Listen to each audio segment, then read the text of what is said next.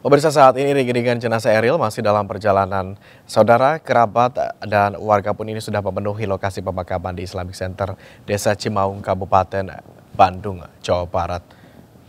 Iring-iringan jenazah Eril ini diketahui sudah keluar dari tol dan menuju Islamic Center Cimaung.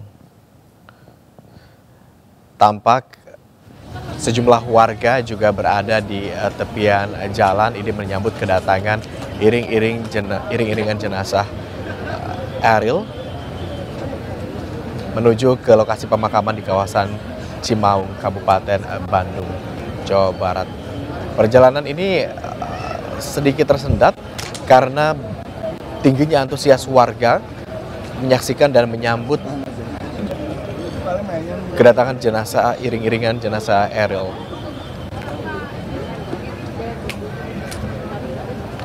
Kita saksikan warga dari berbagai kalangan masyarakat termasuk uh, ini tampak para pelajar yang masih mengenakan seragam berada di tepian jalan begitu untuk untuk tanah menyambut iring-iringan kedatangan jenazah Amiril Khan Mumtaz menuju ke pemakaman tempat pemak peristirahatan terakhirnya di kawasan Cimaung, Kabupaten Bandung, Jawa Barat.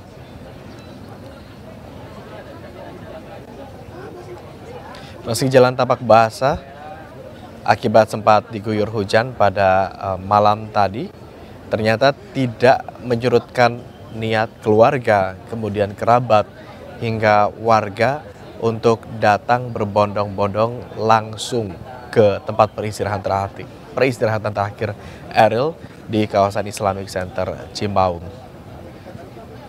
Jika tadi di jalanan juga banyak warga uh, yang sepanjang jalan begitu uh, menyambut iring-iringan jenazah Eril, maka di kawasan Islamic Center, kawasan Cimaung, Kabupaten Bandung, Jawa Barat, ini warga juga sudah tiba meskipun sempat diimbau bahwa warga ini bisa melakukan uh, ziarah kubur di siang nanti setelah prosesi pemakaman ini berlangsung.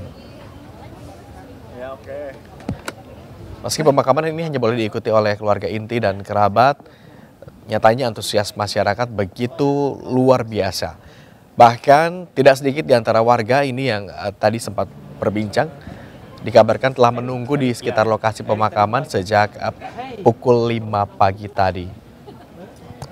Kendati demikian, ini nantinya warga dipersilakan untuk memberikan doa dan penghormatan terakhir pukul 12 nanti.